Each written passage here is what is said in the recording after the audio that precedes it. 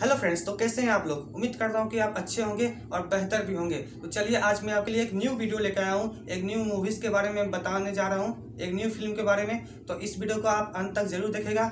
मेरा नाम है राहुल और आप देख रहे हैं अमेजिंग फ़िल्में तो चलिए तो फ्रेंड्स इस फ़िल्म का नाम है अल्फ़ा और यह फ़िल्म दो मार्च दो हज़ार अठारह को पूरे सिनेमा घरों में रिलीज़ किया गया था। इस फ़िल्म के बजट की बात की जाए तो यह फ़िल्म लगभग 51 बिलियन यूएस डॉलर से बना हुआ था, लागत से बना हुआ था, और इसने लगभग 99 बिलियन 99.1 बिलियन यूएस डॉलर लगभग कमाई की थी। और इस फ़िल्म के निर्देशक और कहानीकार की बात की जाए तो इस फ़िल्म के निर्देशक है अल्बर्ट हगस, और उनके, इन्होंने ही कहानी यह लिखी है।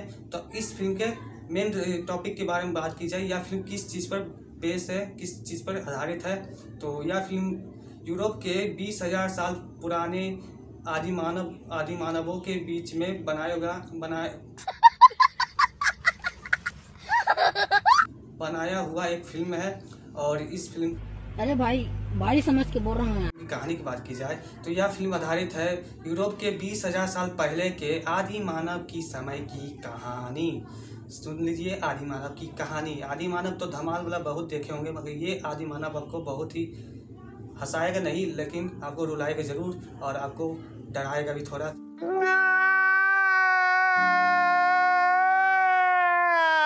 भी थोड़ा थोड़ा हिम्मत भी देगा तो आप इस आप इस फ़िल्म को देखिएगा ज़रूर।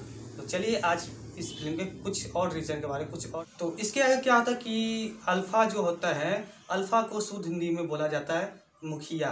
मुखिया जी गाँव वाला मुखिया जी नहीं, ये आदि मानव वाला मुखिया जी है। तो इस फ़िल्म में क्या होता है कि मुखिया जी होते हैं ताऊ जी वो क्या करते हैं कि अपने बेटों के, अपने बेटे को सिखाते हैं। अब इकलौते ही तो बेटे रहते हैं। इकलौते बेटों को सिखाते हैं, जिसका नाम होता है केंदा। उनको अल्फ़ा के लिए तैयार किया जाता है कि अगर वो मर जाएँगे तो वो किस, उनके जगह पर उनका बेटा होगा। लेकिन उनके जो बेटे होते हैं, वो डरपोक होते हैं और खतरों से खेलना उन्हें पसंद नहीं होता है। उनको पिताजी को समझाते पिताजी उनको समझाते कि तुम तुम बन सकते हो अल्फ़ा, लेकिन वो नहीं मानता है। और उसके बाद क्या होता है, सभी सर्दी आने से पहले सभी झुंडवासी जाते हैं शिकार करने के लिए। क्योंकि सर्दी आ जाएगी तो उसके बाद शिकार नहीं मिल पाएगा और वो सब भूखे मर जाएँगे।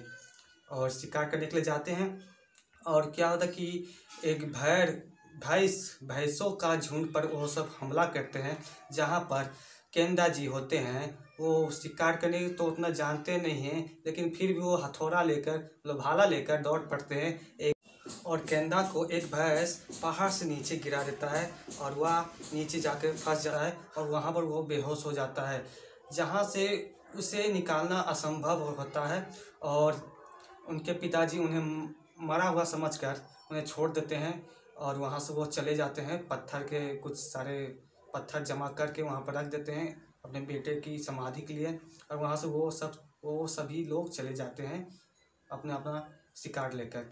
और उसके आगे क्या होता है गेंदा के साथ, ये आपको देखने के बाद ही पता चलेगा। तो आप प्लीज़ जाके यह, ये फ़िल्म आप जाके देखिए और मुझे कमेंट करके बताइए कि यह आपको यह वीडियो कैसा लगा है। और अगर आपको थोड़ा सा भी यह वीडियो अच्छा लगा तो आप इसको लाइक कर कर दीजिएगा और चैनल को सब्सक्राइब ज़रूर कर दीजिएगा।